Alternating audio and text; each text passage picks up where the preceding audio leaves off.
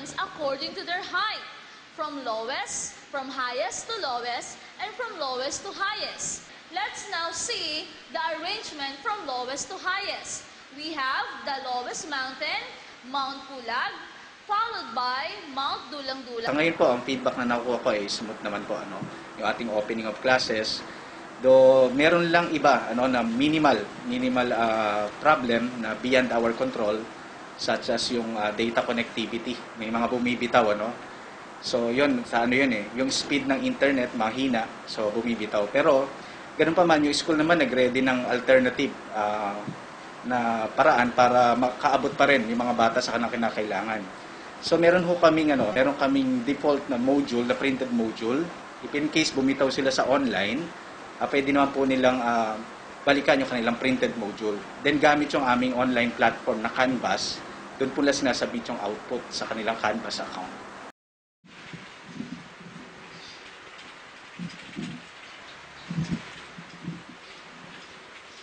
Let's start with Mount Pulag or Mount Dulang-Dulang.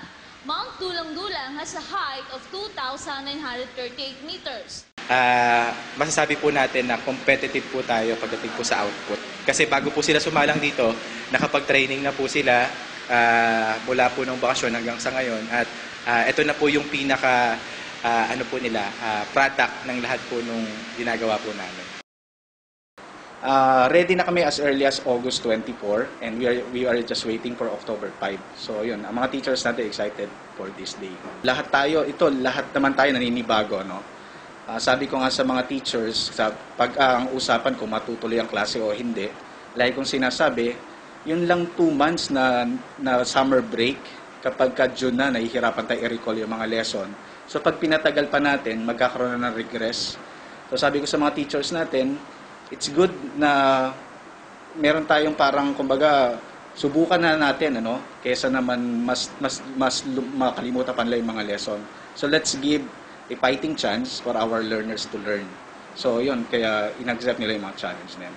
So ang, ang pinaka-challenge today sa first day is the connectivity.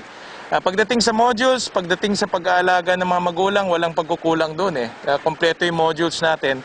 But ang pagkukulang ngayon ay yung connectivity. At dito papasok yung mga telcos.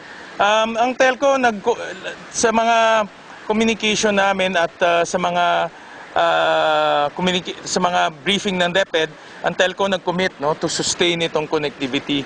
At ah, but uh, again, no, nakita natin dito, I'm not satisfied with the connectivity here in Valenzuela. At least, uh, hindi ako satisfied na uh, naglalag yung pagtuturo dahil uh, sayang naman yung ginagawa ng efforts ng mga local governments kung hindi ma-deliver yung, uh, yung uh, videos sa mga bata.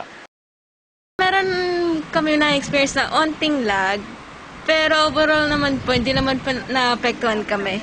Sa mga mag-aaral naman, hindi tayo papayag ano, na hindi matuloy ang edukasyon sa kalagitnaan ng pandemya. Gagawa at gagawa ng paraan ng mga guro para kayo ay maabot, para ma- maihatid natin kayo sa inyong mga pangarap, ano man ang sitwasyon, tuloy ang edukasyon.